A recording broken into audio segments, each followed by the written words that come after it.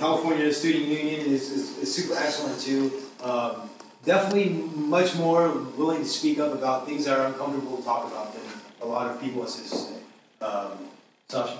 Um, can you, do you happen to know, so the thing that you just showed us, because talking about doing that in strategic planning, having it so like people can go on like where the funding's going, but we're trying to figure out like a method to do it, because right now we do it with like the traditional, like the GET system. So what you just showed us, they're still in the works with that, right?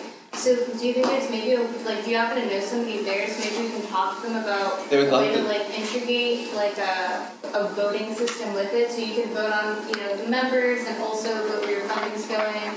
Yeah, yeah, totally. They'd love to talk to y'all. Um, and then I also met another organization that already has one developed. Okay. Uh, so I wasn't quite as big on their business structure, but it looked like they had the same program.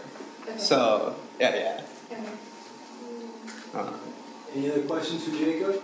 and do I follow up with you on that? Yeah, just go Okay. ahead and uh, if you want to message us, we'll do it. Cool. Anything else? Alright. I just noticed one last point. So I realized at our last California Student Union conference, there's a SQE sign on the right. We need to get an ASI sign on the left. Uh, so yeah, yeah. Alright. Cool. Thank you very much, Jacob. Thank you. Okay. Moving on to action item A, we have appointments for, uh, Sure. yes. No. Thank you again. Um, So we need to take action on uh, committee appointments. We have two people going up to do two different committees. If the board's okay with it, I'd like to do that, those two committees, one sweeping motion. Is everyone okay with that? It's Environmental Policy Committee and the nomination, the curriculum subcommittee. Is everyone okay with doing one sweeping motion for those two committees?